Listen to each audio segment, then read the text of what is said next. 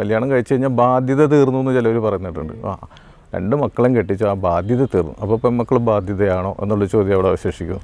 പിന്നെ കല്യാണം കഴിച്ചു കഴിഞ്ഞാലും പിന്നെ ഒരു ആറ് മാസം കഴിയുമ്പോൾ അല്ലെങ്കിൽ ഒരു കൊല്ലം കഴിയുമ്പോൾ എന്താണ് വിശേഷമൊന്നുമില്ല കുട്ടികളില്ലെന്ന് വയ്ക്കും. അപ്പോൾ കല്യാണം കഴിച്ചു കഴിഞ്ഞാൽ ഉടനെ ആദ്യത്തെ വർഷം രണ്ടാമത്തെ വർഷം പെൺകുട്ടികൾ പ്രസവിക്കണം എന്നുള്ളൊരു ചിന്ത പാരൻസിനുണ്ട്. അപ്പോൾ അതിനുള്ളൊരു മെഷീനറി ആണോ? ഈ സ്ത്രീ എന്ന് പറയുന്നത് ഒരു പ്രത്യുൽപാദനത്തിനുള്ള ഒരു മെഷീനറി ആണോ? പുതിയ സിനിമകൾ വരുന്നത് ഇപ്പോൾ ഈ ലോക്ക്ഡൗൺ കാലത്തും ഈ കൊറോണ കാലത്തൊക്കെ തന്നെ എല്ലാം ഭയങ്കര ഡാർക്കും അതുപോലെ തന്നെ ഭയങ്കര എന്താണ് മർഡർ മിസ്റ്ററി അങ്ങനെയുള്ള ത്രില്ലർ ഇത് മാത്രം ഇങ്ങനെ ഒരു ഇങ്ങനെ തുടർച്ചയായി വന്നുകൊണ്ടിരുന്നു.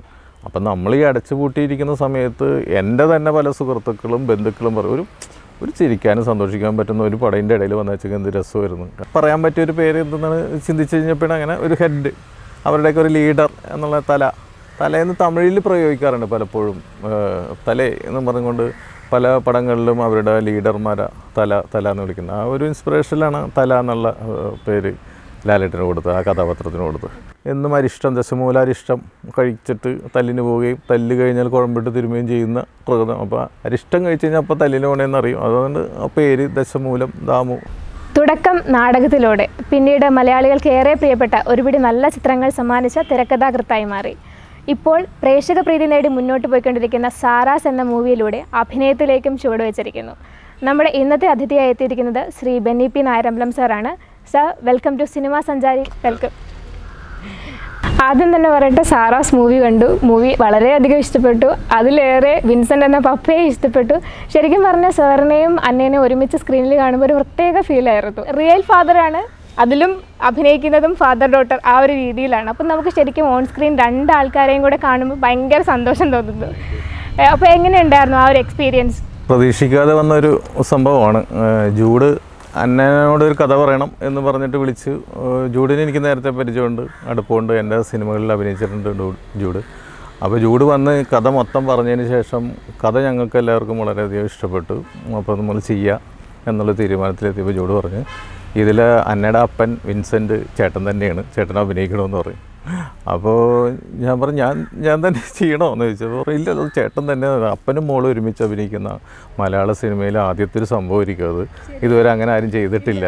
റിയലായിട്ടുള്ള അപ്പനും മോളും എന്ന് പറഞ്ഞു അപ്പോൾ ഞാൻ പറഞ്ഞു ഓക്കെ നമുക്ക് ചെയ്യാം. എന്നുള്ള സന്തോഷപൂർവം ഞാനത് സ്വീകരിച്ചു. സ്ക്രിപ്റ്റ് വായിച്ചു കഴിഞ്ഞപ്പോഴേക്കും ആ ക്യാരക്ടറും ഒരു രസമുള്ള ഒരു വലിയ ഇമോഷൻസും കാര്യങ്ങളും ഇല്ലെങ്കിലും വളരെ ലൈറ്ററായിട്ട് ചെയ്യാവുന്നതാണെങ്കിലും അതിനൊരു ക്യാരക്ടറൈസേഷൻ ഉണ്ടെന്ന് തോന്നി.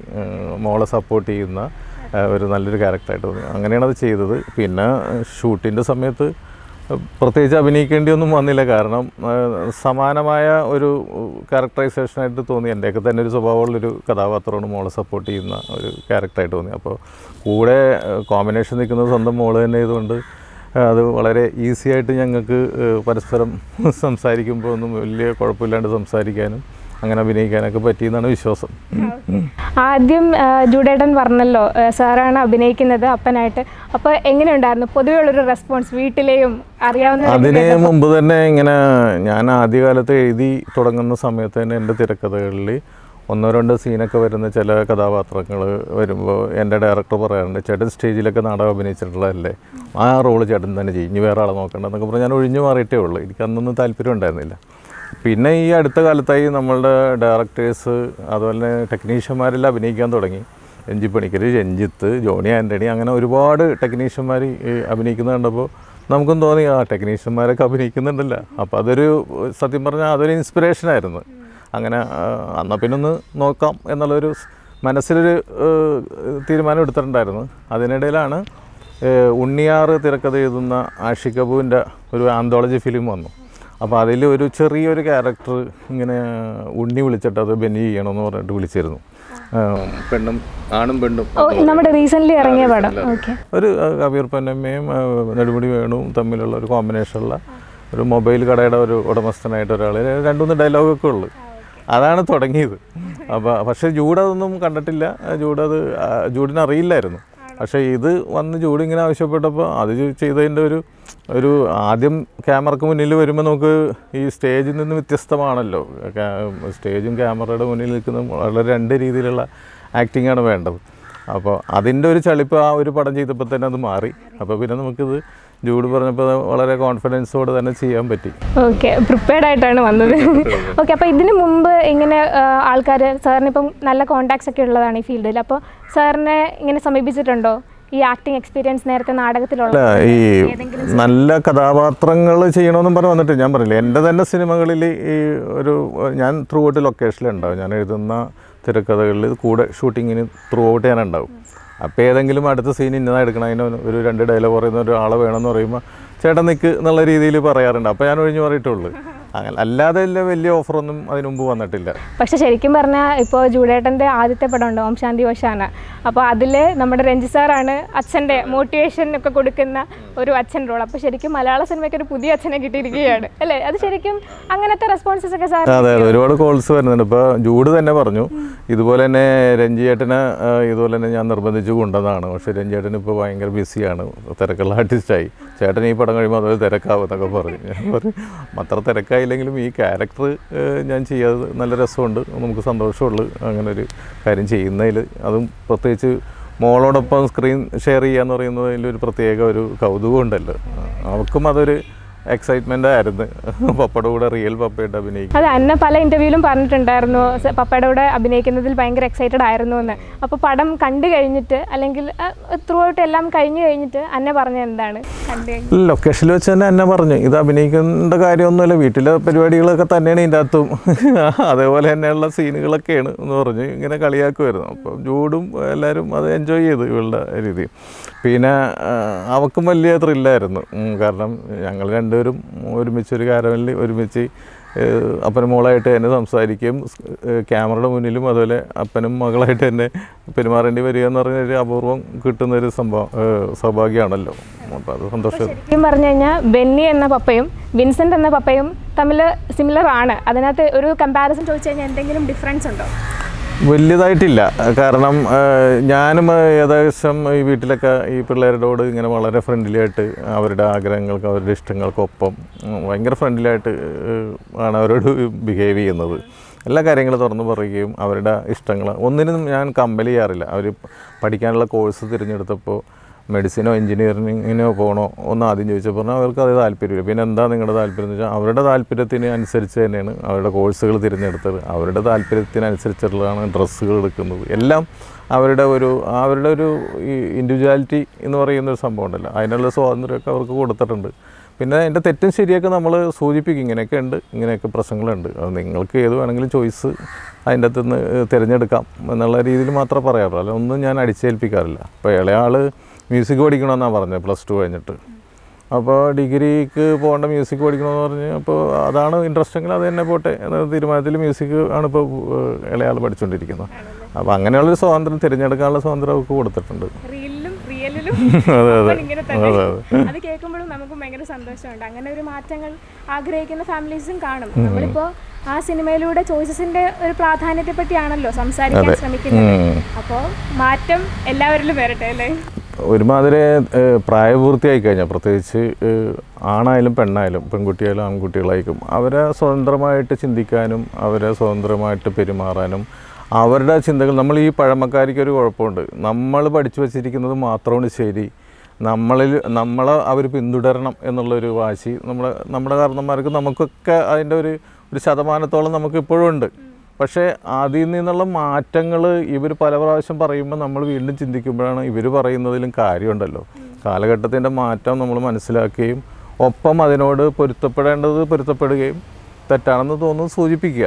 പക്ഷേ അവരങ്ങനെ അവരെ മുഴുവനായിട്ട് തള്ളിക്കളയാതെ അവർ പറയുന്നതിലും കാര്യങ്ങളുണ്ടെന്നുള്ളൊരു കാര്യങ്ങളുണ്ടെന്നുള്ള ഒരു ഒരു പരിഗണന കൊടുക്കേണ്ടതുണ്ട് പാരൻസിന്. അത് പ്രത്യേകിച്ച് ഇപ്പം അത് മനസ്സിലായി തുടങ്ങിയിട്ടുണ്ട് പലർക്കും. പഴയ മാമൂലികളിൽ നിന്നൊക്കെ മാറി ഇപ്പോഴത്തെ ഒരു പ്രസന്റ് കണ്ടീഷനിൽ എന്താണ് ഇപ്പോഴത്തെ? അതൊക്കെ നമ്മൾ ഇപ്പോൾ നമ്മൾ പല വേദികളിലും നമ്മൾ കേട്ടിട്ടുള്ള ഒരു വാക്കാണ്. യുവതലമുറ വഴിതെറ്റുന്നു ദിശാബോധമില്ലാത്തതാണ് തലമുറ ഇപ്പോഴത്തെ പുതിയ തലമുറ എന്നൊക്കെ പറഞ്ഞ് പലരും പ്രസംഗിക്കുന്നു കേട്ടിട്ടുണ്ട്. പക്ഷെ നമ്മൾ ഒരു വെള്ളപ്പൊക്കം വന്നപ്പോൾ ഈ ഈ യങ്സ്റ്റേഴ്സാണ് ഏറ്റവും മുന്നിട്ട് ഇറങ്ങിയതും അവരിൽ ആ അവരിലുള്ള ആ ഒരു പ്രതിബദ്ധതയൊക്കെ നമ്മൾ അന്ന് കണ്ട് ഈ ചെറുപ്പക്കാരുടെ. അപ്പോൾ അങ്ങനെ ഒരു വഴിതെറ്റി പോകുന്ന തലമുറയുണ്ടെന്ന് ഞാൻ വിശ്വസിക്കുന്നില്ല. ഇപ്പോഴത്തെ പിള്ളേർ നല്ല ബ്രില്യന്റ് ആണ്. നമ്മളൊക്കെ ചിന്തിക്കുന്നതിന്റെ അപ്പുറം ചിന്തിക്കുകയും പ്രവർത്തിക്കുകയും ഒക്കെ ചെയ്യുന്ന നല്ല ടാലന്റഡ് ആയിട്ടുള്ള ഒരു തലമുറ നമുക്കുണ്ട് എന്നുള്ളത് തന്നെയാണ് വളരെ സന്തോഷകരമായിട്ടുള്ള കാര്യം. ശരിക്കും പറഞ്ഞാൽ നമ്മുടെ സമൂഹവും മാറിയതിന്റെ ഒരു അടയാളം എന്ന് വേണേൽ പറയാം. ഈ ഒരു സിനിമ അക്സെപ്റ്റബിൾ ആയത്. അല്ലേ? നേരത്തെ ഒരു സാഹചര്യമായിരുന്നെങ്കിൽ ഇങ്ങനെ ഒരു കൺസെപ്റ്റ് ഈ ഒരു സമൂഹം അംഗീകരിക്കും എന്ന് സാറിന് തോന്നുന്നുണ്ടോ? അതല്ല ഞാൻ പറഞ്ഞില്ലേ ഇപ്പോൾ ഇത് നമ്മളുടെ ചുറ്റുവട്ടത്തും നടക്കുന്ന കാര്യങ്ങൾ തന്നെയാണ്. നമ്മൾ നമ്മുടെ കുടുംബങ്ങളിലും നമ്മുടെ പരിസരങ്ങളിലൊക്കെ നമ്മൾ കണ്ടിട്ടും കേട്ടിട്ടുമുണ്ട്. പെൺകുട്ടി. ഒരു പ്രായം കഴിഞ്ഞാൽ ഉടനെ വിവാഹം കഴിക്കുക അവളെ എങ്ങനെയെങ്കിലും പറഞ്ഞയക്കണ്ടേ എന്നൊക്കെയാണ് ചോദിക്കുന്നത്. പെണ്ണ് ഇനി പ്രായപൂർത്തിയായി മോളെ പറഞ്ഞയക്കണം. പറഞ്ഞയക്കണമെന്നാണ് പറയുന്നത്. അതുപോലെ കല്യാണം കഴിക്കുന്ന കഴിപ്പിക്കുന്നതാണ് ഏറ്റവും വലിയ കാര്യം. കല്യാണം കഴിച്ചു കഴിഞ്ഞാൽ ബാധ്യത തീർന്നു എന്ന് ചിലവർ പറഞ്ഞിട്ടുണ്ട്. ആ രണ്ട് മക്കളും കെട്ടിച്ചു ആ ബാധ്യത തീർന്നു. അപ്പോൾ പെൺമക്കൾ ബാധ്യതയാണോ എന്നുള്ള ചോദ്യം അവിടെ അവശേഷിക്കും. പിന്നെ കല്യാണം കഴിച്ചു കഴിഞ്ഞാലും പിന്നെ ഒരു ആറ് മാസം കഴിയുമ്പോൾ അല്ലെങ്കിൽ ഒരു കൊല്ലം കഴിയുമ്പോൾ എന്താണ് വിശേഷമൊന്നുമില്ല കുട്ടികളില്ലേന്ന് വയ്ക്കും. അപ്പോൾ കല്യാണം കഴിച്ചു കഴിഞ്ഞാൽ ഉടനെ ആദ്യത്തെ വർഷം രണ്ടാമത്തെ വർഷം പെൺകുട്ടികൾ പ്രസവിക്കണം എന്നുള്ളൊരു ചിന്ത പാരൻസിനുണ്ട്. അപ്പോൾ അതിനുള്ളൊരു മെഷീനറി ആണോ? ഈ സ്ത്രീ എന്ന് പറയുന്നത് ഒരു പ്രത്യുൽപാദനത്തിനുള്ള ഒരു മെഷീനറി ആണോ? അല്ലെങ്കിൽ അവർക്ക് അവരുടേതായ സ്വപ്നങ്ങളില്ലേ അവരുടേതായ ലക്ഷ്യങ്ങളില്ലേ അപ്പോൾ അതിന് വേണ്ടിയിട്ട് ഗർഭ ഗർഭിണിയായി ഒരു കൊച്ചായി കഴിഞ്ഞാൽ പിന്നെ ആ കൊച്ചിനെ നോക്കി വീട്ടിലിരുന്നോളണം. അപ്പോൾ കൊച്ചിന്റെ കാര്യം. അപ്പോൾ പാരന്റിങ് എന്ന് പറയുന്നതെന്ന് പറഞ്ഞാൽ അത് അതിന്റെ കൃത്യസമയത്ത് നമ്മൾ ഒരു ലക്ഷ്യത്തിലേക്ക് സഞ്ചരിച്ചുകൊണ്ടിരിക്കുകയായിരിക്കും ചിലപ്പോൾ അത് പെണ്ണായാലും ആണായാലും അപ്പോൾ അതിനിടയിൽ ഒരു കുഞ്ഞിനെയൊക്കെ ചിലപ്പോൾ സംരക്ഷിക്കാനോ കൃത്യമായിട്ട് അതിനെ നോക്കാൻ പറ്റിയില്ലെങ്കിൽ അതാണ് ഏറ്റവും വലിയ കുഴപ്പം. ആ കുട്ടിയെ വേണ്ട കെയർ കൊടുത്ത് അതിനെ സംരക്ഷിക്കാനുള്ള ഒരു അവസ്ഥ ഉള്ളപ്പോഴാണ് ഒരു പെൺകുട്ടി ഗർഭം ധരിക്കേണ്ടത് കുഞ്ഞിനെ പ്രസവിക്കേണ്ടത്. അല്ലാതെ അവളൊരു വലിയ അംബീഷന് വേണ്ടി പ്രയത്നിച്ചുകൊണ്ടിരിക്കുന്ന സമയത്ത് പെട്ടെന്ന് കുഞ്ഞുങ്ങളില്ലേ എന്ന് പാരന്റ് പാരൻസ് ചോദിക്കുന്നതൊക്കെ ഒരു അപകടകരമായിട്ടൊരു അവസ്ഥയാണ് അത് പലർക്കും അറിയാം. നമ്മുടെ അനുഭവത്തിൽ തന്നെ ഗർഭിണി ആയതുകൊണ്ട് പിന്നെ മറ്റേ ജോലി വേണ്ടെന്ന് വെച്ച്. കൊച്ചിനെ നോക്കാൻ പറ്റാത്തതുകൊണ്ട് ജോലി റിസൈൻ ചെയ്തു എന്നൊക്കെ പറഞ്ഞ് എത്ര പെൺകുട്ടികളെ നമ്മൾ കണ്ടിട്ടുണ്ട്. അപ്പോൾ അവരുടെ സ്വപ്നങ്ങൾക്കും ലക്ഷ്യങ്ങൾക്കൊന്നും ഒരു വിലയില്ല. ഒരു ആണധികാരത്തിന്റെ ഒരു ഒരു രീതിയിലാണ് ഇതുവരെ പോയത്. പക്ഷേ അതിനൊക്കെ ബ്രേക്ക് ചെയ്തിട്ട് പറയുന്ന ഒരു കാര്യമാണത് അത്. വളരെ സത്യസന്ധമായ കാര്യമാണ്. പെൺകുട്ടികൾ സ്വന്തം കാലിൽ നിൽക്കേണ്ട അവസ്ഥയാണ് ഇപ്പോഴുള്ളത്. ഇപ്പോഴല്ല എന്നും അങ്ങനെയാണ് വേണ്ടതും. പക്ഷേ അതില്ലാതാവുമ്പോഴാണ് ഈ പ്രശ്നങ്ങളും വെക്കേണ്ടത് ഇപ്പോൾ ഒരു ആണില്ലെങ്കിലും സ്വയം ജീവിക്കാൻ ഒരു പെണ്ണിന് കഴിയണം. അത് ആരുടെയും സപ്പോർട്ടില്ലാണ്ട് ഒരു പെൺകുട്ടിക്ക് ജീവിക്കാൻ കഴിയണം എന്നൊക്കെ പറയുന്നതിന്റെ ഒരു അണ്ടർ റൂട്ടായിട്ട് ഒരു പറയുന്നൊരു കാര്യം കൂടിയാണത്. ശരിക്കും മലയാള സിനിമ ഇപ്പോൾ മാറി തുടങ്ങിയിരിക്കുകയാണ് അല്ലേ? ഇപ്പോൾ റിയലിസ്റ്റിക് ആയിട്ടിരിക്കുകയാണ്. കുറേ എല്ലാ ഇപ്പോൾ വരുന്ന മൂവികളെല്ലാം ആ ഒരു റിയലിസ്റ്റിക് ടൈപ്പ് ഓഫ് ആണ് എടുക്കുന്നത്. ഇപ്പോൾ ഫെമിനിസത്തെ കുറിച്ച് സംസാരിക്കുന്നു പൊളിറ്റിക്കൽ കറക്റ്റ്നസ് അങ്ങനെ. ഇപ്പോൾ നമ്മൾ സാറാസിന്റെ കാര്യം എടുക്കുകയാണെങ്കിൽ തന്നെ ആ ഒരു സാറ അവളുടെ ഡ്രീംസിന് വേണ്ടിയിട്ട് നിൽക്കുകയാണ്. അപ്പോൾ സാറ് ഈ സിനിമയിൽ വന്ന ആ ഒരു കാലഘട്ടത്തിൽ നിന്ന് മലയാള സിനിമ ഇപ്പോൾ എത്രമാത്രം മാറി? മലയാള സിനിമ ടെക്നിക്കലായിട്ടും കഥാപരമായിട്ടും പുതിയ പുതിയ ചിന്തകൾ കൊണ്ടുവരുന്നുണ്ട്. ഇത് പണ്ടത്തെ കാലഘട്ടത്തിൽ ഇത് ഉണ്ടായില്ല എന്ന് പൂർണമായിട്ടും പറയാൻ പറ്റില്ല. ഇത്രയും വ്യത്യസ്തമായ ചിന്തകൾ ഈ ഭരതൻ പത്മരാജൻ ആ കാലഘട്ടത്തിലൊക്കെ കൺവെൻഷനലായിട്ടുള്ള അന്നേരത്തുള്ള കഥകളെയും ചിന്തകളെയൊക്കെ ബ്രേക്ക് ചെയ്തിട്ട് വളരെ ഡിഫറെന്റ് ആയിട്ടുള്ള സിനിമകളുണ്ടായിരുന്നു അതിനു മുമ്പും ഉണ്ടായിരുന്നു. സാഹിത്യ സൃഷ്ടികൾ സിനിമയാക്കുന്ന ഒരു കാലഘട്ടം ഉണ്ടായിരുന്നു. നല്ല നല്ല നല്ല സാഹിത്യ സൃഷ്ടികൾ എടുത്തിട്ട് സിനിമയാക്കുന്ന കരകാണക്കടൽ പോലെയുള്ള ഒരുപാട് സിനിമകൾ അപ്പോൾ ചെമ്മീൻ എന്നൊക്കെ പറഞ്ഞാൽ അന്നും അത് നല്ല മൂല്യമുള്ള സിനിമകളുണ്ടായിരുന്നു പക്ഷേ ഇപ്പോഴത്തെ ഒരു കാലഘട്ടത്തിനനുസരിച്ചിട്ട് ഇപ്പോഴത്തെ ഒരു പുതുതലമുറ എന്ന് പറയുന്ന കണ്ടെത്തുന്ന ആശയങ്ങൾ ഒക്കെ എന്ന് പറഞ്ഞാൽ ഇന്ന് പറയേണ്ട കഥകൾ ഈ കാലഘട്ടത്തിനനുസരിച്ച് ഓരോ കഥകൾ പറയാമല്ലോ അപ്പോൾ ഇന്ന് പറയേണ്ട വിഷയങ്ങൾ വളരെ വ്യക്തമായിട്ട് നല്ല ശബ്ദത്തോടെ തന്നെ ഇപ്പോഴത്തെ തലമുറ പറയുന്നുണ്ട്. അത് വളരെ ആശാവഹമാണ്. അത് ശരിക്കും ഒരു മോഡായിട്ടാണ് ഇപ്പോൾ സിനിമേനെ ആൾക്കാർ യൂസ് ചെയ്യുന്നത് വളരെ നല്ല രീതിയിൽ അല്ലേ? സാർ ശരിക്കും പറഞ്ഞു കഴിഞ്ഞാൽ ഒരു നല്ല ബ്ലോക്ക് ബസ്റ്റേഴ്സ് തന്നെ വേണേൽ പറയാം. അങ്ങനെ ഹിറ്റുകൾ സമ്മാനിച്ച ഒരാളാണ്. Comedy full length comedy movies അപ്പോൾ അങ്ങനെ ഒരു മൂവീനെ പറ്റി ഇപ്പോൾ ആലോചിക്കുന്നുണ്ടോ? നമ്മൾ എല്ലാവർക്കും ഒരു പാറ്റേൺ ഉണ്ടാവുമല്ലോ. ഒരു കഥ പറയുന്നതിന്റെ രീതി ഓരോരുത്തർക്കും ഓരോ ശൈലി ഉണ്ടാവും. അപ്പം ഞാൻ പണ്ട് മുതലേ തന്നെ ശീലിച്ചേക്കുന്നതെന്ന് പറഞ്ഞാൽ ഇത്തിരി നർമ്മങ്ങളൊക്കെ കലർത്തി ഒരു ഫണ്ണൊക്കെ വേണം. അത് എന്റെ ജീവിതവും അങ്ങനെയൊക്കെ തന്നെയാണ്. ഞാൻ വളരെ ഗൗരവമായിട്ടുള്ളൊരു കാര്യം സംസാരിക്കുമ്പോൾ പോലും വീട്ടിലാണെങ്കിലും ഫ്രണ്ട്സിന്റെ ഇടയിലും എന്തെങ്കിലും തമാശയിലൂടെയൊക്കെ അത് അവതരിപ്പിക്കുള്ളൂ. അപ്പോൾ ആ ഒരു ശൈലി എനിക്ക് ഉള്ളതുകൊണ്ട് ഞാൻ അങ്ങനെയുള്ള കഥകളാണ് എഴുതിയേക്കുന്നത്. പക്ഷേ അത് ആ കഥകളുടെ ബേസിക് ത്രെഡ് എടുത്ത് നോക്കിക്കഴിഞ്ഞാൽ വളരെ സീരിയസ് ആയിട്ട് വേണമെങ്കിൽ പറയാവുന്ന കഥകളാണ്. ഇപ്പോൾ ചാന്തുപട്ടിന്റെ ആയാലും കുഞ്ഞിക്കുവിന്റെ ആയാലൊക്കെ ഉള്ള ഒരു ബേസിക് നോട്ട് എടുത്തു കഴിഞ്ഞാൽ വളരെ സീരിയസ് വിഷയമാണ് പക്ഷെ അത് പറഞ്ഞിരിക്കുന്ന രീതി അങ്ങനെ ഹ്യൂമറസ് ആയിട്ടാണ്. അപ്പോൾ ആ രീതി തന്നെയാണ് ഇപ്പോഴും അവലംബിച്ചത്. ഞാനിപ്പോൾ ഷാഫിയായിട്ട് അടുത്ത് ചെയ്യുന്നൊരു പടം ഇത്തിരി ഹ്യൂമറസ് ആയിട്ട് കഥ പറഞ്ഞു പോകുന്ന രീതിയിലുള്ള അന്ന് കുറച്ചും കൂടിയൊക്കെ റിയലിസ്റ്റിക് ആയിട്ടുള്ളൊരു അപ്രോച്ച് ഇപ്പോഴത്തെ ഒരു കാലഘട്ടത്തിനനുസരിച്ചിട്ട് നമ്മൾ സ്വീകരിച്ചിട്ടുണ്ട്. അത്രേ മാറ്റങ്ങളേ ഉള്ളൂ അല്ല ശരിക്കും പറഞ്ഞാൽ മലയാളികൾ ഒത്തിരി മിസ് ചെയ്യുന്നുണ്ട്. അങ്ങനെ ഒരു ഫുൾ ലെങ്ത് മൂവി എന്നൊക്കെ കാരണം എന്താ വെച്ചാൽ ഇപ്പോൾ നമ്മളിപ്പോൾ പുതിയ സിനിമകൾ വരുന്നത് ഇപ്പോൾ ഈ ലോക്ക്ഡൗൺ കാലത്തും ഈ കൊറോണ കാലത്തൊക്കെ തന്നെ എല്ലാം ഭയങ്കര ഡാർക്കും അതുപോലെ തന്നെ ഭയങ്കര എന്താണ് മർഡർ മിസ്റ്ററി അങ്ങനെയുള്ള ത്രില്ലർ ഇത് മാത്രം ഇങ്ങനെ ഒരു ഇങ്ങനെ തുടർച്ചയായി വന്നുകൊണ്ടിരുന്നു.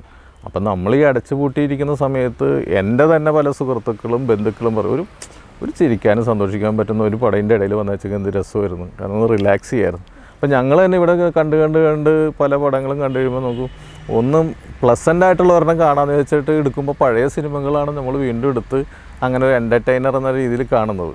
അപ്പോൾ അത്തരം സിനിമകളും വേണം. അപ്പോൾ അങ്ങനെ ഇത് ഈ ഭയങ്കര ഡാർക്ക് അടിച്ചുകൊണ്ടിരിക്കുന്ന സമയത്താണ് ഈ സാറാസിന്റെ വരവ്. അതൊരു പ്ലസ് ആയിരുന്നു. കാരണം ഒരു എന്റർടൈനർ പാട്ടൊക്കെ ആയിട്ടുള്ള ഒരു കൊച്ചു കഥ പറയുന്നു എന്ന് പറഞ്ഞപ്പോൾ എല്ലാവർക്കും അതൊരു റിലാക്സ്ഡ് ആയി എല്ലാവരും. എല്ലാവരും അത് അത് പ്രത്യേകം എടുത്ത് പറഞ്ഞു. ഓ ഇതിന്റെ ഇടയിൽ ഇങ്ങനെ ഒരു ക്യൂട്ടായിട്ടുള്ള ഒരു ചെറുകഥ വായിക്കുന്ന പോലെ ഒരു നല്ലൊരു നോവൽ വായിക്കുന്ന പോലെയൊക്കെയുള്ള ഒരു സിനിമ വന്നത് നന്നായി എന്ന് പറയുന്നുണ്ട്. അപ്പോൾ അത് ആത്യന്തികമായിട്ട് കലയുടെ ലക്ഷ്യം ആനന്ദിപ്പിക്കുക എന്നുള്ളത് തന്നെയല്ല. അത് ഏത് രീതിയിലും ആകാം എന്നുള്ളത് മറ്റൊരു വിഷയം. പക്ഷെ ഒരു സന്തോഷം കൊടുത്തുകൊണ്ട് ഒരു ഒരു പുഞ്ചിരി സമ്മാനിച്ചുകൊണ്ട് അല്ലെങ്കിൽ ചിരിപ്പിച്ചുകൊണ്ടെന്നൊക്കെ വരുമ്പോൾ അത് കൂടുതൽ നമുക്ക് നമ്മൾ ശാരീരികമായിട്ടും നമുക്ക് അത് ഉന്മേഷം നൽകുന്ന കാര്യമാണ്. അതെ ശരിയാണ്. സാറ് ലാലേട്ടൻ മമ്മൂക്ക സുരേഷ് ഗോപിച്ചേട്ടൻ അങ്ങനെ വലിയ മുൻനിര താരങ്ങളുടെ കൂടെയൊക്കെ വർക്ക് ചെയ്തിട്ടുണ്ട്. അപ്പോൾ സാറ് സ്ക്രിപ്റ്റ് എഴുതുമ്പോൾ ഇവരെയൊക്കെ തന്നെയാണോ മനസ്സിൽ കാണുന്നത്? ആ സ്ക്രിപ്റ്റിന് ഇവർ തന്നെയാണ് അനുയോജ്യർ അങ്ങനെ എന്തെങ്കിലും? അത് പ്രോജക്റ്റുകൾ വരുന്നത് എന്റെ അടുത്ത് പ്രോജക്റ്റ് വരുമ്പോഴത്തേനും ഓൾറെഡി ആർട്ടിസ്റ്റ് ബുക്ക്ഡ് ആയിട്ടുള്ള പരിപാടിയായിരിക്കും. കാരണം മമ്മൂക്കയുടെ ഡേറ്റ് ഉണ്ട്. മമ്മൂക്കക്ക് പറ്റിയ ഒരു സബ്ജക്റ്റ് വേണമെന്ന് പറയും. അല്ലെങ്കിൽ ലാലേട്ടന്റെ ഒരു പ്രോജക്റ്റ് ഉണ്ട്. അങ്ങനെ ഓൾറെഡി ആർട്ടിസ്റ്റിനെ ഫിക്സ് ചെയ്തിട്ട് വരുന്ന കഥകൾ ആവുമ്പോൾ അങ്ങനെയുള്ള പ്രോജക്റ്റ് ആകുമ്പോൾ നമ്മൾ അവർക്ക് വേണ്ടി തന്നെ മനസ്സിൽ ഇപ്പോൾ നേരത്തെ വെച്ചിരുന്ന ഒരു പ്ലോട്ടോ അല്ലെങ്കിൽ അവർക്ക് വേണ്ടി നമ്മൾ ചിന്തിച്ച് തന്നെ ഉണ്ടാക്കാറ് പതിവുണ്ട്. അല്ലാതെ ഇപ്പോൾ ആർട്ടിസ്റ്റ് ഒരു വിഷയമല്ല ഒരു കഥ വേണം ഒരു സ്ക്രിപ്റ്റ് വേണം ആർട്ടിസ്റ്റിനെ നമുക്ക് ആരെ വേണമെങ്കിലും നോക്കാം കഥക്കനുസരിച്ച് നോക്കാം അങ്ങനെയും വരുന്നുണ്ട് പ്രോജക്റ്റ് ഒരു ഡയറക്ടോറിയും ഒരു സബ്ജക്റ്റ് എന്തെങ്കിലും ഡിഫറെന്റ് ആയിട്ട് വേണോ? ആരെ പറ്റിയാണ് ആർക്ക് പറ്റുകയാണെങ്കിൽ നമുക്ക് അവരെ സമീപിക്കാം എന്ന് പറഞ്ഞ് രണ്ട് രീതിയിലും വരാറുണ്ട്. അപ്പോൾ സാറിന്റെ ഏതെങ്കിലും മൂവി ഇപ്പോൾ ഒരു നായകന് വേണ്ടിയിട്ട് നമ്മൾ വെച്ചതാണ്. പക്ഷെ വേറൊരു നായകനാണ് അത് കിട്ടിയത്. അങ്ങനെ എന്തെങ്കിലും മൂവി സാറിന്റെ ഉണ്ടോ?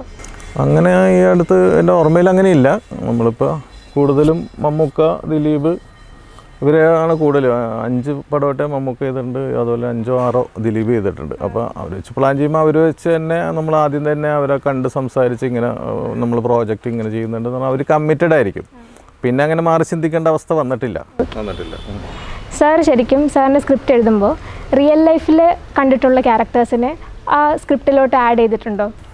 അത് ഒരു നമ്മുടെ ജീവിതമായിട്ട് ബന്ധപ്പെട്ടിട്ടുള്ള അല്ലെങ്കിൽ നമ്മൾ കണ്ടു പരിചയിച്ചിട്ടുള്ള അല്ലെങ്കിൽ എവിടെയൊക്കെ കണ്ട മുഖങ്ങളോ കണ്ട സന്ദർഭങ്ങളോ കണ്ട കഥാപാത്രങ്ങളുടെയൊക്കെ ഒരു നല്ലൊരു അംശം വരും. അത് പൂർണമായിട്ട് നമ്മൾ ഡോക്യുമെന്ററി പോലെ ചെയ്യുന്നതല്ല.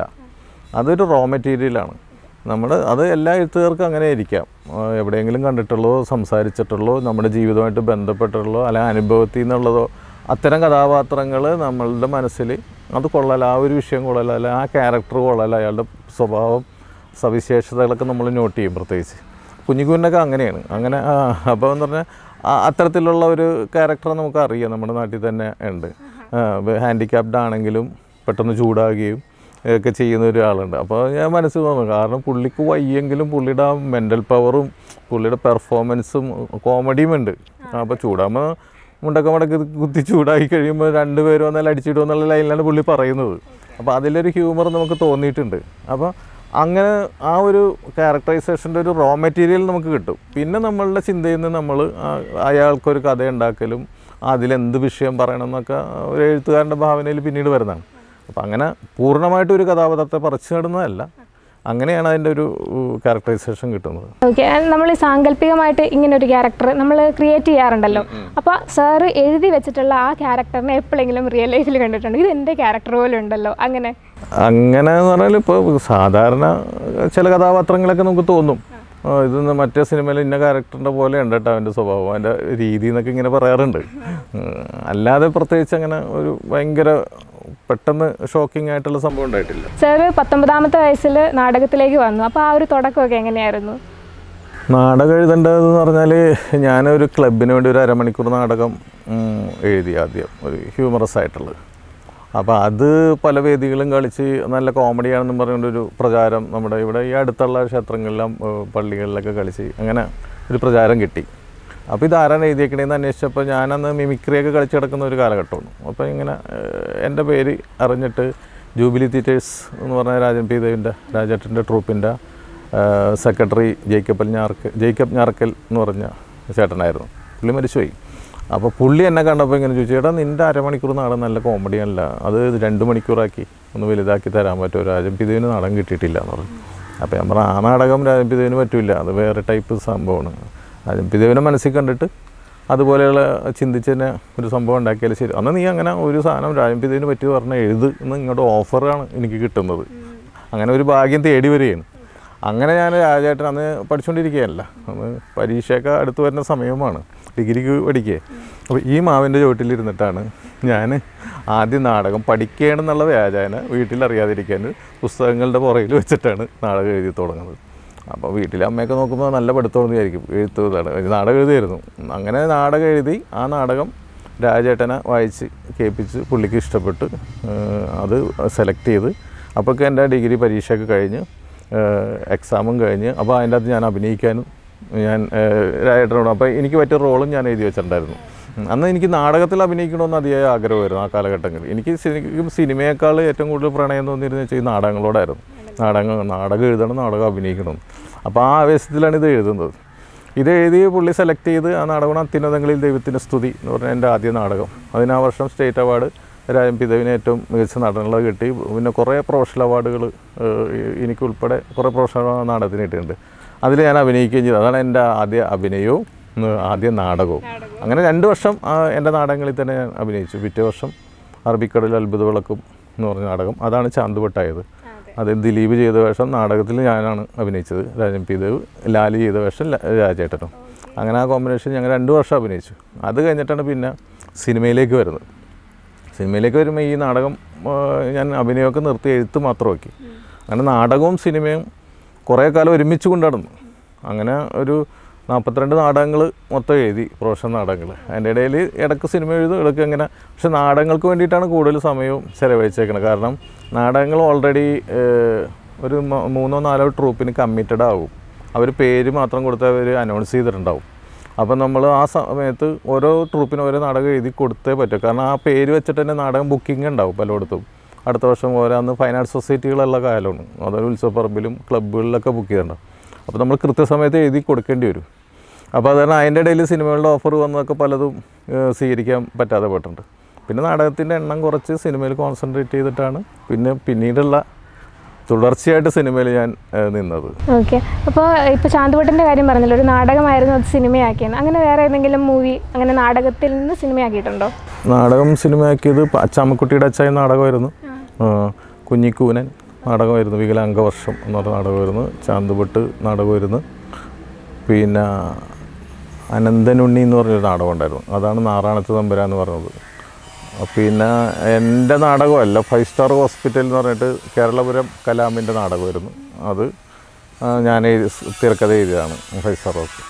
അങ്ങനെ എന്റെ കുറച്ച് നാടകങ്ങൾ വന്നിട്ടുണ്ട്. ഓക്കെ അപ്പോൾ സാറാണ് ആദ്യം അത്യുന്നതങ്ങളിൽ ദൈവത്തിന് സ്തുതി എഴുതി അതിൽ അഭിനയിക്കുകയും ചെയ്തു. അപ്പോൾ അങ്ങനെ ഒരു മൂവി പ്രതീക്ഷിക്കാമോ അപ്പോൾ ഞാൻ ഇപ്പം ഞാൻ അടുത്ത എഴുതുന്ന ഷാഫിക്ക് വേണ്ടി ചെയ്യുന്ന എഴുതുന്ന തിരക്കഥയിൽ ഒരു ക്യാരക്ടർ ഞാൻ ചെയ്യുന്നുണ്ട്. ഓക്കെ അപ്പോൾ നമ്മൾ ഞാൻ ഇനി അടുത്ത ഒരു സെഗ്മെന്റ് ആണ്. ഞാൻ കുറച്ച് പേരുടെ പേരുകൾ പറയും. അപ്പോൾ സാർ അവരുടേതായിട്ടുള്ള എക്സ്പീരിയൻസോ അല്ലെങ്കിൽ അവരെ പറ്റി എന്തെങ്കിലും സാറിന് എന്താണോ തോന്നുന്നത് അത് പറഞ്ഞാൽ മതി. ഈ സാറാസ് മൂവിയിലുള്ള ആൾക്കാരാണ്. ഓക്കെ ആദ്യം ജൂഡ് ആന്റണി ജൂഡ് ആന്റണി ഞാൻ നേരത്തെ സൂചിപ്പിച്ച പോലെ എന്റെ വെളിപാടിന്റെ പുസ്തകം എന്ന സിനിമയിൽ അഭിനയിക്കാനുണ്ടായിരുന്നു. അതിനു മുമ്പ് തന്നെ ജൂഡിനെ പരിചയമുണ്ട്. പല പല സ്ഥലങ്ങളിൽ വെച്ച് കണ്ട് പരിചയമുണ്ട്. നല്ല ഫ്രണ്ട്ഷിപ്പ് ഞങ്ങൾ തമ്മിലുണ്ടായിരുന്നു. ഒരു നല്ല സരസനായിട്ടുള്ള നല്ലൊരു വ്യക്തിയാണ് നല്ല ഡയറക്ടറാണ്. സണ്ണിവേൻ സണ്ണിവേനെ ഞാൻ പരിചയപ്പെടുന്നത് ഈ ഈ ഒരു ഒന്ന് രണ്ട് സ്റ്റേജ് ഷോ നടക്കുന്ന വേദികളിൽ വെച്ചിട്ട് ജസ്റ്റ് ഒന്ന് കണ്ട് വിഷ് ചെയ്തിട്ടുള്ളൂ. പിന്നെ കൂടുതൽ അടുത്ത് പരിചയപ്പെടുന്നത് സാറാസിന്റെ സെറ്റിൽ വെച്ചാണ്. ഭയങ്കര നല്ലൊരു പയ്യനാണ്. നല്ല ക്യൂട്ടായിട്ടുള്ള നന്നായിട്ട് പെരുമാറുന്ന ഒരു നല്ല പയ്യനാണ്. ഓക്കെ മല്ലിക സുകുമാരൻ. മല്ലിക ചേച്ചിനെ വർഷങ്ങൾക്ക് മുമ്പ് തന്നെ എനിക്ക് പരിചയമുണ്ട്. എന്റെ ചോട്ടാ മുംബൈ എന്ന് പറയുന്ന സിനിമയിൽ മല്ലിക ചേച്ചി അഭിനയിച്ചിട്ടുണ്ട്. അതെ. അപ്പോൾ അന്ന് വെച്ച് അന്ന് തൊട്ട് തന്നെ ലൊക്കേഷനിൽ വെച്ചിട്ട് നല്ല ബന്ധമുണ്ട്. പിന്നെ പൃഥ്വിരാജിന്റെയും ഇന്ദ്രജിത്തിന്റെ അമ്മ എന്ന രീതിയിൽ ഈ പൃഥ്വിരാജും ഇന്ദ്രജിത്തും എന്റെ അടുത്ത സുഹൃത്തുക്കളാണ്. അപ്പോൾ ആ രീതിയിൽ നമ്മുടെ ഒരു ചേച്ചിയായിട്ട് എന്നും കാണുന്ന ലേഡിയാണ് അന്നയിലേക്ക് വരാം നമുക്ക്. അന്നയുടെ സ്ക്രിപ്റ്റ് ചോയ്സസ് ഒക്കെ എല്ലാവരും എടുത്തു പറയുന്ന ഒരു കാര്യമാണ്. വളരെ നല്ല സെലക്ഷൻ ആണെന്നൊക്കെ. സാറ് ഹെൽപ്പൊക്കെ ചെയ്യാറുണ്ടോ അന്നേനെ? അന്ന ഇപ്പോൾ ആദ്യത്തെ കുമ്പളങ്ങി നൈസിന് ശേഷം ഹെലൻ സിനിമ വന്നു കഴിഞ്ഞപ്പോൾ ഞങ്ങളെല്ലാവരും കൂടി ഒരുമിച്ചിരുന്നാണ് കേട്ടത്. ഞാൻ വൈഫ് ഉണ്ടായിരുന്നു അന്നെ ഞാനും ഉണ്ടായിരുന്നു. അപ്പോൾ എന്റെ മാത്തുക്കുട്ടി വന്ന് അത് വളരെ നീറ്റായിട്ട് കഥ പറഞ്ഞു. ആ കഥ പറഞ്ഞ് കേട്ടപ്പോൾ തന്നെ ഞങ്ങൾക്ക് എല്ലാവർക്കും ഒരേപോലെ ഇഷ്ടപ്പെട്ടു. അതിലൊരു കൺഫ്യൂഷനേ ഉണ്ടായിരുന്നില്ല. ഉഗ്ര സംഭവമാണ് ഇത് നല്ല ടെൻഷനുള്ള സാധനമാണ്. ഒരേപോലെ ഒരേ സ്വരത്തിൽ എല്ലാവരും ഉഗ്രനാണെന്ന് പറഞ്ഞ ഇതാണ്. പിന്നെ അതിനുശേഷം കപ്പേള.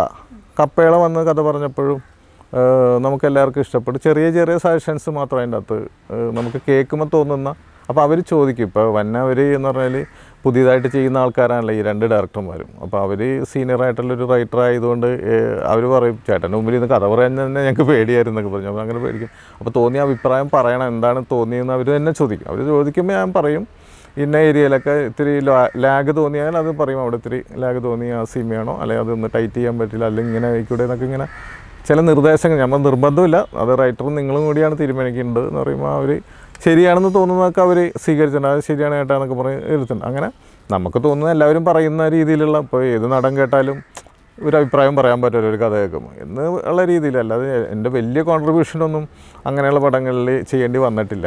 പിന്നെ ചില കഥകൾ കേൾക്കുമ്പോൾ അന്നക്ക് തന്നെ അത് വലിയ ഗുണമില്ല എന്ന് തോന്നുന്ന കഥകൾ വരുമ്പോൾ അന്ന തന്നെ പറയാറുണ്ട്. അത് എനിക്ക് വർക്കൗട്ട് ആവില്ല അത് ഞാൻ ചെയ്താൽ നന്നാകില്ല എന്നൊക്കെ പറഞ്ഞുകൊണ്ട്. അപ്പോൾ നമുക്കും തോന്നും അത് കുഴപ്പമാണെന്ന്. പിന്നെ ചില കൺഫ്യൂഷൻസ് വരുമ്പോൾ എന്നാ പറയും പപ്പയും കൂടി ഒന്ന് കേട്ട് നോക്ക് എനിക്ക് കണ്ടിട്ട് കൊള്ളാമോ കുഴപ്പമാണോ ഒന്നും അങ്ങോട്ട് ജഡ്ജ് ചെയ്യാൻ പറ്റിയില്ല എന്ന് പറഞ്ഞിട്ട് ചില കഥകൾ ഞാനും കൂടി കേൾക്കും. അങ്ങനെ ആവശ്യപ്പെട്ടാൽ മാത്രമേ ഞാൻ കേൾക്കാറുള്ളൂ. അല്ലാണ്ട് ഞാനിപ്പോൾ നിർബന്ധിച്ച് ചിലതൊക്കെ അന്നനോട് തന്നെ ഇപ്പം എനിക്ക് ഇഷ്ടപ്പെട്ടതുകൊണ്ട് മാത്രം കാര്യമില്ല. അന്നയാണ് അഭിനയിക്കുന്നത്. അപ്പോൾ അന്നയുടെ പൂർണമായിട്ടുള്ള ഒരു ഇഷ്ടവും സ്വാതന്ത്ര്യത്തിന് തന്നെയാണ് അത് വിട്ടേക്കുന്നത് അപ്പോൾ എനിക്ക് ഇഷ്ടപ്പെട്ടാലും ഇഷ്ടപ്പെട്ടില്ലെങ്കിലും അന്നക്ക് അത് ഓക്കെ ആണെന്നുണ്ടെങ്കിൽ ചെയ്തോളാനായിട്ടുള്ളത് നല്ലതാണെങ്കിൽ എന്റെ ഇഷ്ടം. കാരണം നമ്മുടെ ചിന്ത പോലെ അല്ലല്ലോ ഇപ്പോഴത്തെ പുതിയ പിള്ളേരുടെ. അപ്പം നമ്മൾ കാണാത്ത ചില കാര്യങ്ങൾ ചിലപ്പോൾ അതിന്റെ അകത്ത് ഉണ്ടാവും. അതുകൊണ്ട് അവളുടെ പൂർണ സ്വാതന്ത്ര്യത്തിന് തന്നെയാണ് അത് വിട്ടിരിക്കുന്നത്. അപ്പോൾ അന്നേനെ കേന്ദ്ര കഥാപാത്രമാക്കിയിട്ട് വല്ല സ്ക്രിപ്റ്റും അങ്ങനെ ചിന്തയിലുണ്ടോ? അന്ന എപ്പോഴും പറയാറുണ്ട്. ഇവിടെ വീട്ടിലും ഭാര്യയൊക്കെ അങ്ങനെ ഒന്ന് ആലോചിച്ചുകൂടെ എന്നൊക്കെ ചോദിക്കാറുണ്ട്. അപ്പോൾ ഞാനതിന് പറഞ്ഞ മറുപടി അവൾ നല്ല രീതിയിൽ പോവുകയാണ്. ഞാനായിട്ട് കുഴപ്പിക്കേണ്ട കാര്യമുണ്ടോ എന്ന് ചോദിച്ചു പക്ഷേ ഒരു പ്ലോട്ട് എന്റെ മനസ്സിലുണ്ട് അന്നൊക്കെ ചെയ്യാൻ പറ്റുന്ന. അതിന്റെ ഒരു ഡെവലപ്മെന്റ് ഇങ്ങനെ ആലോചിച്ചുകൊണ്ടിരിക്കുകയാണ്. അത് നന്നായിട്ട് വരികയാണെങ്കിൽ അവളോട് സംസാരിച്ചിട്ട് അവൾക്കും കൂടി ഇഷ്ടപ്പെടുകയാണെങ്കിൽ ചിലപ്പോൾ അത് ചെയ്യും. അത് പെട്ടെന്നൊന്നും ഉണ്ടാവില്ല. എനിക്ക് ഒന്ന് രണ്ട് കമ്മിറ്റഡ് വർക്കുകളുണ്ട് അതൊക്കെ കഴിഞ്ഞിട്ടുള്ള എന്തെങ്കിലും ചിലപ്പോൾ ഉണ്ടാകാം ചിലപ്പോൾ ഉണ്ടാകാതിരിക്കാം. ഓക്കെ നമുക്ക് പ്രതീക്ഷയോടെ ഇരിക്കാം. നമ്മൾ ഈ മൂവിയിൽ സാറാസിന്റെ എൻഡിങ്ങിൽ ഡ്രീം അച്ചീവ് ചെയ്ത പെൺകുട്ടി സാറ അല്ലേ? അപ്പം നമ്മുടെ അന്നേനെ പറ്റി പറയുകയാണെങ്കിൽ അന്ന കുമ്പളങ്ങി നൈറ്റ്സിൽ ഐഡന്റിറ്റി വെളിപ്പെടുത്താതാണ് പോയി ഓഡിഷനൊക്കെ അറ്റൻഡ് ചെയ്ത് എല്ലാം ചെയ്തത്. അപ്പോൾ ആ മൂവി ഇറങ്ങിയപ്പോഴുള്ള ആ ഒരു പ്രൗഡ് ഫാദർ ആയിരുന്നു സാറാസിന്റെ എന്തെങ്കിലും കണ്ടത്? അതെ തീർച്ചയായിട്ടും. ഈ കുമ്പളങ്ങി നൈസിന്റെ പ്രിവ്യൂ കുമ്പളങ്ങി നൈസിന്റെ പൂജക്ക് മാത്രമേ ഞാൻ പോയിട്ടുണ്ടായിരുന്നുള്ളൂ. അപ്പോൾ അതിന്റെ സ്വിച്ച് ഓൺ കർമ്മം ഞാനാണ് നിർവഹിച്ചത്. അതിനുശേഷം പിന്നെ ഞാൻ ലൊക്കേഷനിലേക്ക് പോയിട്ടില്ല. വൈഫാണ് അന്നയുടെ കൂടെ ഉണ്ടായത്. അപ്പോൾ ഇവളെങ്ങനെ അഭിനയിക്കുന്നു എന്നൊക്കെ ഞാൻ അന്വേഷിക്കുമ്പോൾ നന്നായിട്ട് ചെയ്യുന്നുണ്ട് അവൾ എന്നുള്ളൊരു ന്യൂസ് കിട്ടിയിരുന്നു. പക്ഷേ ആദ്യത്തെ പ്രിവ്യൂ ഷോ കാണുമ്പോൾ സത്യം പറഞ്ഞാൽ ഞാൻ അത്ഭുതപ്പെട്ടു പോയി. കാരണം ഇത്ര നന്നായിട്ട് അവളെ ചെയ്യുമെന്ന് ഞാൻ അവൾ അഭിനയിക്കും അഭിനയിക്കുമായിരിക്കും എന്നുള്ള ചിന്ത മാത്രമേ ഉണ്ടായിരുന്നുള്ളൂ. പക്ഷേ എക്സ്ട്രാ ഓർഡിനറി ആയിട്ട് ഉള്ള ഒരു പെർഫോമൻസ് ആയിട്ട് എനിക്ക് തോന്നി. എനിക്ക് വളരെ സന്തോഷം തോന്നി. ഞാൻ പറഞ്ഞു ഇത്രയും പപ്പ പ്രതീക്ഷിച്ചില്ല എന്നൊക്കെ പറഞ്ഞ് ഞാൻ ഹഗ് ചെയ്തു. അത് എന്നെ അത്ഭുതപ്പെടുത്തി ശരിക്കും പറഞ്ഞാൽ അപ്പോൾ അത് പിന്നീടുള്ള പടങ്ങളിലും അവളുടെ ടാലന്റ് അവൾ തെളിയിച്ചു. അപ്പോൾ അതിൽ നമുക്ക് അഭിമാനമുണ്ട് സന്തോഷമുണ്ട്. അത് ഇങ്ങനെ അന്തർലീനമായിട്ട് ഇങ്ങനെ കിടന്നത് മൂടിക്കിടന്നത് അവൾ തന്നെ സ്വയം കണ്ടെത്തി അത് ഒരു ഓഡിയേഷന് പോയി പങ്കെടുത്ത് ആരുടെയും കെയർ ഓഫ് ഇല്ലാതെ സ്വയം നേടിയെടുത്തതാണ്. അതിൽ എനിക്കും അഭിമാനമുണ്ട്. എന്റെ ഒരു കെയർ ഓഫ് പറയാതെ അങ്ങനെ വന്നതിൽ ശരിക്കും ആ നമ്മുടെ മൂവിയുടെ എൻഡിലാണ് നമ്മൾ കാണുന്നതെങ്കിൽ നമുക്ക് തന്നെ ഒരു ഒരു സന്തോഷം നമുക്ക് ഫീൽ ചെയ്യാൻ പറ്റുന്നുണ്ടായിരുന്നു. അതുകൊണ്ട് ഞാൻ ചോദിച്ചതേ ഉള്ളൂ. ഓക്കെ സാറിന്റെ പുതിയ പ്രോജക്ട്സ് എന്തൊക്കെയാണ്? എന്തെങ്കിലും ഞാൻ ഇനി അടുത്തത് ഷാഫി ഞാനും കൂടി.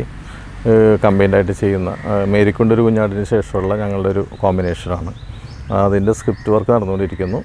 പിന്നെ സുരാജ് വഞ്ഞാറമൂടിനെ കേന്ദ്ര കഥാപാത്രമാക്കിയിട്ട് ഒരു ചട്ടമ്പി നാട് എന്ന സിനിമയിൽ ദശമൂലം ദാമു എന്ന് പറഞ്ഞ ക്യാരക്ടർ അത് സെൻട്രൽ ക്യാരക്ടറാക്കിയിട്ട് ഒരു ടോട്ടലി ഒരു ഫൺ മൂവി ആയിട്ടുള്ളൊരു പദ്ധതിയുണ്ട്. ഇങ്ങനെ ഒന്ന് രണ്ട് പരിപാടികളുണ്ട്. മമ്മൂക്കയുടെ ഒരു പ്രോജക്റ്റ് ഉണ്ട്. സാറിന്റെ രണ്ട് മൂവിന്റെ സ്പെഷ്യലായിട്ട് ഞാൻ ചോദിക്കുകയാണ്. ചോട്ടാ മുംബൈയിലെ തല മറ്റേ ചട്ടമ്പി നാടിലെ ദശമൂലം ദാമു ഈ ഒരു ക്യാരക്ടർ നെയിമൊക്കെ എങ്ങനെയാണ് കിട്ടുന്നത്? തല എന്നുള്ളത് അങ്ങനെ ഒരു എഴുത്തിന്റെ ഭാഗമായിട്ട് ചിന്തിച്ചപ്പോൾ ഈ കൂട്ടുകാർ എങ്ങനെ ഇയാളെ സംബോധന ചെയ്യും? ലാലേട്ടന്റെ പേര് വാസ്കോ എന്നാണ് എന്റെ അകത്ത് ചോട്ടമ്പലി വാസ്കോ എന്ന അല്ലെങ്കിൽ എന്ത് വിളിക്കുമ്പോൾ ഒരു എല്ലാവരും ജൂനിയറായിട്ടുള്ള പിള്ളേരും ഉണ്ടല്ലോ മണിക്കൂട്ടനെ പോലെ. ബിജുക്കൂട്ടനുണ്ട് മണിക്കൂട്ടനുണ്ട് ഇന്ദ്രജിത്ത് സിദ്ദിഖ്. അപ്പോൾ എല്ലാവർക്കും കൂടി കോമൺ ആയിട്ട് പറയാൻ പറ്റിയ ഒരു പേര് എന്തെന്നാണ് ചിന്തിച്ചു കഴിഞ്ഞപ്പോൾ അങ്ങനെ ഒരു ഹെഡ് അവരുടെയൊക്കെ ഒരു ലീഡർ എന്നുള്ള തല. തലേന്ന് തമിഴിൽ പ്രയോഗിക്കാറുണ്ട് പലപ്പോഴും. തല എന്ന് പറഞ്ഞുകൊണ്ട് പല പടങ്ങളിലും അവരുടെ ലീഡർമാരെ തല തല എന്ന് വിളിക്കുന്നത്. ആ ഒരു ഇൻസ്പിറേഷനിലാണ് തല എന്നുള്ള പേര് ലാലേട്ടന് കൊടുത്തത് ആ കഥാപാത്രത്തിന് കൊടുത്തത്. ചട്ടമ്പിനാടിൽ സുരാജിന്റെ ദശമൂലം ദാമു എന്ന് പറഞ്ഞാൽ ഒരു ദാമു എന്നുള്ളൊരു ചട്ടമ്പി എന്ന് ചിന്തിച്ചു. അയാൾക്ക് എന്ത് പ്രത്യേകത വേണം? എന്നിങ്ങനെ ഹ്യൂമറസ് ആയിട്ടുള്ള ഒരാളല്ല. ബേസിക്കലി ഭയം ഉണ്ടെങ്കിലും പുറമേ ഇങ്ങനെ ഷോ കാണിക്കുന്ന ഒരു ഇതാണല്ല അപ്പോൾ എന്തെങ്കിലും ഒരു വെറൈറ്റി കൊടുക്കാനായിട്ട് ഇയാൾ പെട്ടെന്നാണ് കിട്ടിയത്. അപ്പോൾ അവിടെ ഒരു ആയുർവേദ കട ഒരു പശ്ചാത്തലത്തിൽ നമ്മൾ വർക്ക് ചെയ്തിട്ടുണ്ട്. അപ്പോൾ എന്നും അരിഷ്ടം ദശമൂല അരിഷ്ടം കഴിച്ചിട്ട് തല്ലിന് പോവുകയും തല്ല് കഴിഞ്ഞാൽ കുഴമ്പിട്ട് തിരുമുകയും ചെയ്യുന്ന പ്രകൃതം. അപ്പോൾ അരിഷ്ടം കഴിച്ച് കഴിഞ്ഞാൽ അപ്പോൾ തല്ലിന് പോകണമെന്ന് അറിയും. അതുകൊണ്ട് ആ പേര് ദശമൂലം ദാമു അങ്ങനെ അങ്ങനെ ഒരു ചിന്തയിൽ നിന്ന് തന്നെ വന്നതാണ്. അത് അങ്ങനെയുള്ള കഥാപാത്രങ്ങളെയൊന്നും നമ്മൾ നേരിട്ട് കണ്ടിട്ടില്ല. പരിചയപ്പെട്ടതിന് ശേഷം ഇട്ടതല്ല. അങ്ങനെ ഒരു ആലോചനയുടെ ഭാഗമായിട്ടാണ് അത് വന്നത്. ശരിക്കും ദശമൂലം ദാമു ഭയങ്കര ഒരു പ്രതീക്ഷിക്കാത്ത ഒരു ഹിറ്റ് അല്ലായിരുന്നു ആ അതെ ക്യാരക്ടർ അങ്ങോട്ട് ട്രോളുകാർ എല്ലാം ഏറ്റെടുത്തിട്ട് ഇപ്പോഴും അതിന്റെ ട്രോളുകൾ വന്നിട്ടുണ്ട്. അതുകൊണ്ട് തന്നെ അത് ഭയങ്കര പ്രതീക്ഷയുള്ള ഒരു സിനിമയാണ്. അതുപോലെ തന്നെ നല്ല ഹ്യൂമർ വർക്കൗട്ട് ചെയ്യേണ്ട പടമാണ്. അപ്പോൾ അതിന്റെ പണിപ്പുരയിലാണ്. ഓക്കെ അപ്പം സാർ ഇപ്പോൾ മുൻനിര താരങ്ങളുടെ കൂടെയൊക്കെ വർക്ക് ചെയ്തിട്ടുള്ള ഒരാളാണ്. അപ്പോൾ ഞാൻ കുറച്ച് പേരുടെ പേര് പറയും. അപ്പോൾ സാറിന്റെ എക്സ്പീരിയൻസസ് ഷെയർ ചെയ്താൽ മതി. മമ്മൂക്ക. മമ്മൂക്ക ആയിട്ട് ആദ്യം ചെയ്യുന്നത് തൊമ്മനും മക്കളും എന്ന സിനിമയാണ്. അത് അതുവരെ മമ്മൂക്ക സീ- ഈ ഹ്യൂമർ ആയിട്ടുള്ള കഥാപാത്രങ്ങൾ വഴങ്ങില്ല എന്നുള്ളൊരു ഒരു പ്രചാരമുള്ള സമയത്ത് ഈ ഒരു കഥാപാത്രവും സ്ക്രിപ്റ്റും കേട്ടപ്പോൾ നമുക്കൊക്കെ ഭയങ്കര ഇഷ്ടപ്പെട്ടു. നമുക്ക് ആദ്യം തന്നെ കേട്ടപ്പോൾ എനിക്ക് കോമഡി വഴങ്ങില്ലെന്നാണ് നാട്ടുകാർ മുഴുവൻ പറയണത്. ഞാൻ ചെയ്താൽ ശരിയാകും എന്നൊക്കെ ചോദിച്ചിരുന്നു ആദ്യം. പക്ഷേ ഞങ്ങൾ പറഞ്ഞു ഇതങ്ങനെ ഹ്യൂമർ നമുക്ക് സീരിയസ് ആയിട്ട് ചെയ്താൽ മതി. അതിലുള്ള ഹ്യൂമർ കൊണ്ട് ആൾക്കാർ ചിരിച്ചോളൂ എന്ന് പറഞ്ഞ്. ആ ലൊക്കേഷനിൽ ഷൂട്ട് ചെയ്യുമ്പോൾ തൊട്ട് തന്നെ നമുക്ക് ഭയങ്കര ഹാപ്പി ആയിരുന്നു. അപ്പോൾ ലൊക്കേഷനിൽ തന്നെ ചില കോമഡിക്കൊക്കെ ചിരി വീഴുമ്പോൾ നമുക്ക് പറയാം ഇത് നന്നാവട്ടെ ഈ പടം എന്നിങ്ങനെ പറയുന്നത് അന്ന് തൊട്ട് തുടങ്ങിയ നല്ലൊരു സൗഹൃദമുണ്ട് മമ്മൂക്കയായിട്ട്. ആഹ് വളരെ അടുപ്പം നമുക്കൊരു മൂത്ത ജ്യേഷ്ഠനോട് പറയുന്ന പോലെ എല്ലാ കാര്യങ്ങളും സംസാരിക്കാനും വളരെ സിനിമക്കപ്പുറമായിട്ടുള്ളൊരു ഹൃദയബന്ധം നമുക്ക് ഫീൽ ചെയ്യുന്ന നമ്മളോടും വളരെ സ്നേഹമൊക്കെ ഉള്ള ഒരു നല്ല ഒരു താരത്തിനപ്പുറത്ത് ചിന്തിച്ചു കഴിഞ്ഞാൽ നല്ലൊരു ഒരു ബ്രദറിനെ പോലെയൊക്കെ നമുക്ക് സ്നേഹിക്കുന്ന നമ്മളെയും സ്നേഹിക്കുന്ന ഒരു വ്യക്തിയാണ് മമ്മൂക്ക. ഈ പിന്നെ ആൾക്കാർ ഇങ്ങനെ പെട്ടെന്ന് ക്ഷിപ്രകോപിയാണ് ചൂടനാണെന്ന് പറഞ്ഞാലും നമ്മൾ പലപ്പോഴും കണ്ടിട്ടുണ്ട് കൊച്ചു കുഞ്ഞുങ്ങളെ പോലെയുള്ള സ്വഭാവവും പുറമേയുള്ള പരിവേഷം മാത്രമേ ഉള്ളൂ. പക്ഷേ വളരെ ശുദ്ധനായിട്ടുള്ള മനുഷ്യനായിട്ടാണ് മമ്മൂക്കിനെ തോന്നിയിട്ടത് നല്ല എല്ലാവരും അറിയാമല്ലോ ആക്ടിങ്ങിന്റെ കാര്യം പിന്നെ ഞാൻ പ്രത്യേകിച്ച് പറയണ്ടല്ല ഞാൻ വ്യക്തിപരമായിട്ടുള്ള കാര്യം പറഞ്ഞാൽ അപ്പോൾ അത്രയ്ക്ക് നല്ല ഒരു മനുഷ്യനായിട്ട് എനിക്ക് പലപ്പോഴും ഫീൽ ചെയ്തിട്ടുണ്ട്. ഓക്കെ ലാലേട്ടൻ. ലാലേട്ടൻ പക്ക പ്രൊഫഷണലിസ്റ്റാണ് ഒരു സിനിമ ലാ ഞങ്ങൾ പൊതുവെ പറയുന്നുണ്ട് ലാലേട്ടൻ ഒരു സിനിമ കമ്മിറ്റ് ചെയ്യാൻ പാടാണ്. കമ്മിറ്റ് ചെയ്ത് കഴിഞ്ഞാൽ അതിന് നൂറ്റൊന്ന് ശതമാനം അതിന് ഡെഡിക്കേറ്റഡ് ആയിട്ട് അതിനു വേണ്ടി നിൽക്കും. ഡയറക്ടറുടെ ആർട്ടിസ്റ്റാണ് ഡയറക്ടർ എന്ത് പറയണം അതൊക്കെ ചെയ്യുകയും ഒന്നിനൊരു മടി പറയാത്ത വളരെ ഹാർഡ് വർക്ക് ചെയ്യുന്ന വളരെ ആ, ഒരു കാര്യത്തിൽ ഭയങ്കര ഇതാണ് പുള്ളി. പിന്നെ നല്ല ഫ്രണ്ട്ഷിപ്പാണ് ലൊക്കേഷനിൽ എല്ലാവരുമായിട്ട് നല്ല കമ്പനി ഹ്യൂമറും എല്ലാവരുടെയും തോളത്ത് കൈ ഇട്ട് സംസാരിക്കുന്ന രീതിയിലുള്ള ഇതാണ്. പിന്നെ നമ്മൾ പ്രൊഫഷണലായിട്ടുള്ള കാര്യങ്ങൾ ഡീൽ ചെയ്യുമ്പോൾ ചിലപ്പോൾ ഇങ്ങനെ ഇടയ്ക്ക് വിളിക്കുന്ന ബന്ധമൊന്നുമില്ല. അതിപ്പോൾ ലാലേട്ടന് കുറവാണെന്നാണ് പേഴ്സണലായിട്ടുള്ള കുറേ ഫ്രണ്ട്ഷിപ്പ് മമ്മൂക്ക എന്ന് പറഞ്ഞാൽ ഇടക്കൊക്കെ വിളിക്കുകയും ചെയ്യും. ഓരോ കാര്യത്തിന് ഇടയ്ക്ക് വിളിച്ചിട്ട് ഇങ്ങനെ പറയും. അപ്പോൾ രണ്ടും രണ്ട് രീതിയിലുള്ള സ്റ്റൈലാണ് രണ്ടുപേർക്കും. മമ്മൂക്കയും വേറെ രീതി ലാലേട്ടനും വേറെ രീതിയിൽ പോകുന്ന രണ്ട് കഥാപാത്രങ്ങളാണ്. നമുക്ക് കണ്ടോ സാറാസ്? കണ്ട് ഞാൻ വിളിച്ചില്ല. കണ്ട് കാണുമ്പോൾ മിക്കവാറും പുള്ളി എല്ലാ സിനിമയും ആദ്യ ദിവസം കാണുന്ന ആളാണ്. മിക്കവാറും അടുത്ത ദിവസങ്ങളിൽ ഏതെങ്കിലും ഒരു വിളി വരും. കണ്ടു എന്നൊക്കെ പറഞ്ഞ് എന്തെങ്കിലും പറഞ്ഞ് കമന്റ് കോമഡിയിലൊക്കെ എന്തെങ്കിലുമൊക്കെ മെസ്സേജ് അയക്കാറുണ്ട് എനിക്ക്. ഓക്കെ സുരേഷ് ഗോപി ചേട്ടൻ. സുരേഷ് സുരേഷിനായിട്ടായി വർക്ക് ചെയ്യുന്നത് വാഴുന്നൂർ എന്ന് പറയുന്ന സിനിമയാണ്. അത് എന്റെ കരിയർ ഗ്രാഫിൽ എനിക്കൊരു ലിഫ്റ്റ് കിട്ടിയ പടമാണ് വാഴുന്നൂർ. കാരണം ഒരു വലിയ സെറ്റപ്പിലേക്ക് ഞാൻ ആദ്യമായിട്ട് കാരണം ആകാശഗംഗ എന്ന് പറഞ്ഞ മൂവി എഴുതിയതിന് ശേഷം ജോഷി ജോഷിയേട്ടനായിട്ടും സുരേഷ് സുരേഷ് ഗോപിയേട്ടനായിട്ടും ഗോപിച്ചേട്ടനായിട്ടും എല്ലാം കൂടി ഉള്ളൊരു കോമ്പിനേഷൻ ഒരു വലിയ ബഡ്ജറ്റ് സിനിമ എന്ന് പറഞ്ഞ് വന്ന അതാണ്. അന്ന് സുരേഷ് ഏട്ടൻ സുരേഷ് ഏട്ടൻ ഇവിടെ വന്നിട്ടുണ്ട് വീട്ടിലൊക്കെ വന്ന്. അന്ന് സർവോദയം കുര്യൻ കുര്യൻ ചേട്ടൻ മരിച്ച സമയത്ത് അദ്ദേഹത്തെ കാണാൻ വന്ന അവിടെ സംസ്കാര ചടങ്ങിൽ വന്ന കൂട്ടത്തിൽ വീട്ടിലൊക്കെ വന്നിട്ടുണ്ട്. അന്നോട്ട് തന്നെയുള്ള ഒരു അടുപ്പവും സ്നേഹമൊക്കെ ഉള്ള ആൾ തന്നെ. ദിലീപ് ഏട്ടൻ. ദിലീപ് സിനിമയിൽ വരുന്നതിന് മുമ്പുള്ള പരിചയമാണ് ദിലീപ് മിമിക്രി കളിച്ച് കിടക്കുന്ന സമയത്ത് എടവനക്കാടാണ് ദിലീപിന്റെ അമ്മ വീട്. അപ്പോൾ ഞാൻ പ്രൊഫഷണൽ നാടകർത്താണ് ഒന്ന് രണ്ട് സിനിമയൊക്കെ എഴുതിയിട്ടുണ്ട്. അപ്പോൾ ദിലീപ് എന്നെ കാണാൻ വരും. അപ്പോൾ ഞാൻ നാടകം എഴുതുന്നത് എലൈറ്റ് ടൂറിസ്റ്റ് ഹോമിൽ ഇരുന്നാണ് എറണാകുളത്തുള്ള. അപ്പോൾ ദിലീപ് മിമിക്രി കഴിഞ്ഞിട്ട് ഇപ്പോൾ തട്ടുകടയിൽ അവിടെ വരും. രാത്രി ഒരു ഒരു മണി രണ്ട് മണിയൊക്കെ ആകുമ്പോൾ അങ്ങനെ അവിടെ വെച്ചൊക്കെ ഞാനും ചിലപ്പോൾ രാത്രി ഇന്ന് നാടകം എഴുതിയിട്ട് ഭക്ഷണം കഴിക്കാൻ വൈകിട്ട് തട്ടുകടയിൽ പോകുമ്പോൾ ദിലീപിനെ കാണാറുണ്ട്. ദിലീപ് ഇടയ്ക്ക് എന്റെ റൂമിലൊക്കെ വന്നിട്ടുണ്ട്. അഭിനയിക്ക് അന്ന് അഭിനയിച്ചിട്ടൊന്നുമില്ല ദിലീപ്. അപ്പോൾ ഏതെങ്കിലും പടത്തിലൊക്കെ അഭിനയിക്കണം എന്നൊക്കെ പറഞ്ഞു. അപ്പോൾ ഇടവനക്കാടുകാരനായതുകൊണ്ട് നമ്മുടെ നാട്ടുകാരനാണ്. പിന്നെ മിമിക്രി താരമാണ്. അങ്ങനെ എനിക്ക് ദിലീപിനെ അറിയാം. അന്നോട്ട് തന്നെയുള്ള പരിചയമാണ് ദിലീപായിട്ട്. പിന്നെ സിനിമയിൽ വന്ന് ദിലീപ് അസിസ്റ്റന്റ് ഡയറക്ടറായി പിന്നെ എന്റെ സിനിമകളിൽ മന്ത്രമോതിരത്തിലാണ് ആദ്യം അഭിനയിക്കുന്നത്. പിന്നെ അവിടെ തൊട്ട് തന്നെ ദിലീപിന്റെ ഞങ്ങളുടെ ഒരു കോമ്പിനേഷനിൽ ഒരുപാട് കല്യാണരാമൻ കുഞ്ഞിക്കൂനും ഞാൻ തൊട്ട് അങ്ങനെ കുറേ സിനിമകൾ വന്നല്ലോ. അത് അന്നോട്ടുള്ള ഒരു അടുപ്പവും കാര്യങ്ങളും ദിലീപുമായിട്ടുണ്ട്. അപ്പോൾ ശരിക്കും ഞങ്ങളോട് ഇത്രയും സമയം സ്പെൻഡ് ചെയ്തതിന് താങ്ക്സ് ഇനിയും നല്ല നല്ല സിനിമകൾ ഞങ്ങൾക്ക് വേണ്ടി ചെയ്യാൻ പറ്റട്ടെ എന്ന് ആശംസിക്കുന്നു.